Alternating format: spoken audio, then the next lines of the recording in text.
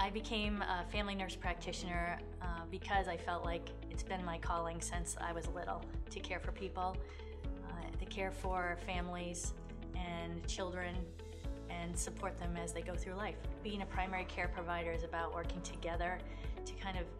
have people get through their life successfully and um, to help them when they're struggling, uh, congratulate them, provide uh, encouragement when they're feeling great, and help out with any family situations and provide education so they might feel um, better as they go through this life. Whether they're a child or they're elderly, everybody has a struggle, everybody has a, a story, and I like to know what that story is, and I hope that I'm part of it in, in a positive way.